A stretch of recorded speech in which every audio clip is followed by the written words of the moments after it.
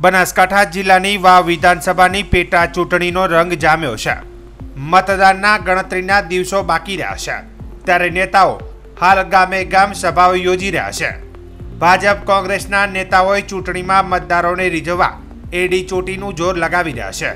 તો બીજી તરફ, અપક્ષ ઉમેદવાર માવજીભાઈ પટેલ પણ જંગી સભાઓ યોજી મતદારોને રીઝવવાના પ્રયાસો કરી રહ્યા છે.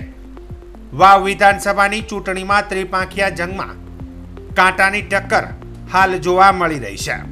ભાજપના અનેક નેતાઓ ચૂંટણી પ્રચારના મેદાનમાં છે તો શ્યામા પક્ષે કોંગ્રેસના પણ નેતાઓ ચૂંટણી પ્રચારમાં છે.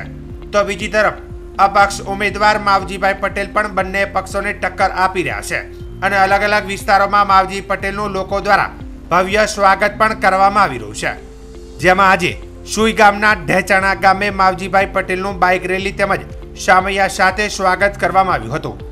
અને જાહેર સભાને સંબોધતા માવજીભાઈ પટેલ આ ચૂંટણીમાં અપક્ષ ઉમેદવારને જીતાડવા માટેની અપીલ કરી હતી.